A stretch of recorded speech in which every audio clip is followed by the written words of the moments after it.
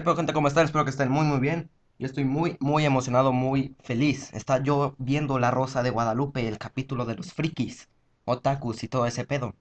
Y, y, y actualicé mi cuenta de YouTube y vi que tenía un comentario del el usuario Shin, Shinigara. Shinigara. Sí, sí, sí. Sí, Shinigara.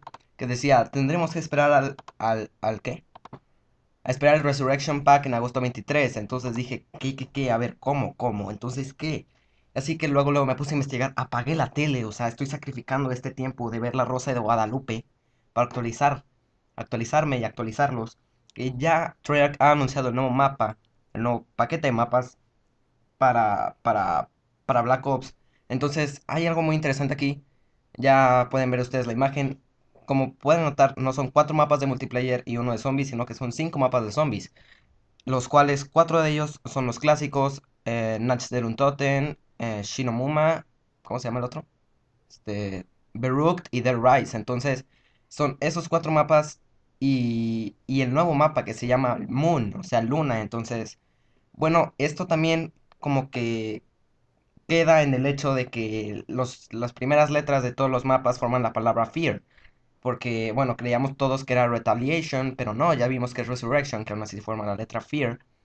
Em, entonces, pues qué bueno, eso es una como que muy buena noticia.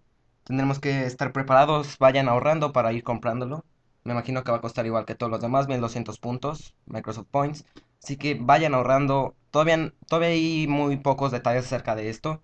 Este, todavía no hay trailer o por lo menos no lo han subido, pero cuando lo suban actualizaré este video y lo pondré en la descripción.